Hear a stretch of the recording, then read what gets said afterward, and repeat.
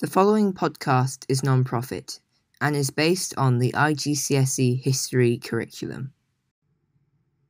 Before I begin today's episode, I would like to thank all you listeners for your continued support of my podcast.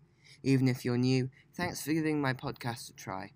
Because of you all, I have hit another milestone of 1,250 total plays. In Series 6 of this podcast, we'll be taking a look at events in the Gulf between 1979 and 1991. This will include events in Iraq, Iran, and the First Gulf War. Today, we will begin by studying why Saddam Hussein was able to come to power in Iraq. Firstly, what factors led to Saddam's rise to power? One factor was military coups. The Hashemite monarchy was overthrown by a coup in 1958. Another coup, the July Revolution of 1968, organized by the army and Ba'ath Party, overthrew President Arif. It led to the Ba'athist leader al-Bakr becoming president. Saddam played a key role in this coup. The second factor was the use of terror and fear.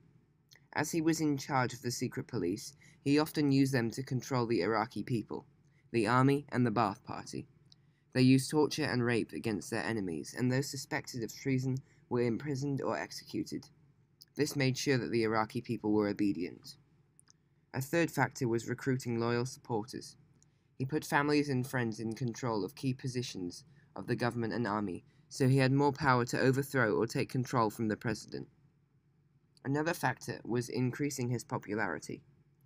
Iraq was nationalized and the government took control over the oil industry from Britain, using the additional income to improve the quality of life and infrastructure of Iraq.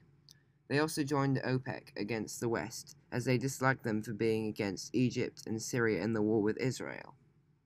The fifth factor was controlling life in Iraq. The Ba'ath Party began controlling all aspects of Iraqi life, including the government, trade unions, and sports clubs. They used education to indoctrinate young people, promoting Iraqi nationalism and rejecting foreign culture. The final factor that I am going to bring up is influence of Saddam's uncle. Saddam was brought up by his uncle, Tufla, an Arab nationalist and Ba'ath Party member. He educated Saddam about Arab nationalism and socialism and persuaded him to join the Ba'ath Party and he became head of Iraqi intelligence services by the age of 26. Secondly, let's look at Saddam Hussein's purge of the Ba'ath Party. In 1979, Saddam Hussein forced President al-Bakr to resign, purged the Ba'ath Party, and became president and dictator of Iraq. This purge was captured on video.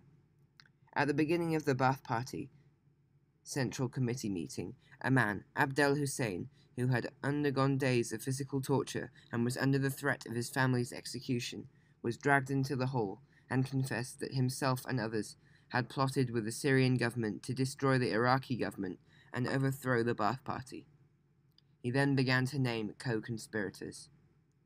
Other members of the committee are panicked as they are afraid that they will be named, so they begin to call out praise to Saddam Hussein and pledge their loyalty. Afterwards, the surviving half, as 68 were called, were given guns and told to shoot those who were convicted. Many of those convicted were high ranking officials of the Ba'ath Party. Saddam had successfully wiped out any political opposition to his dictatorial rule. This is the end of the podcast. Thank you for listening.